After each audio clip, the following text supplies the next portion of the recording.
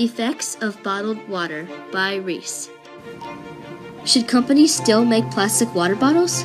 Plastic water bottle making can sometimes have a serious environmental impact. There are both pros and cons, but sometimes the cons can overtake the pros. One of the cons is that most of the plastic water bottles that have already been used end up in the landfill. In bottled water pros and cons, the health research funding says high percentage of bottles end up in landfills and trash cans, and this causes harmful effects to the environment. One in five water bottles are recycled. Though bottled water may ensure more cleanliness, the making of the actual plastic bottles can be very unhealthy for the environment.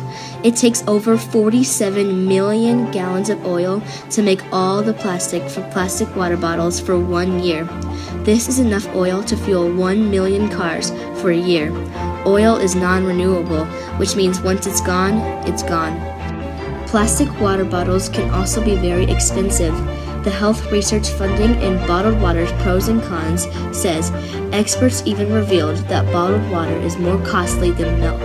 One gallon of bottled water is about $1.21, while tap water is about $2 for every thousand gallons. So even though there may be some pros to having bottled water, there is also a lot of cons. With price, environmental effects such as so much oil being used for production and so much of the water bottles ending up in landfills, bottled water may not be the best choice. Do you want to destroy our world?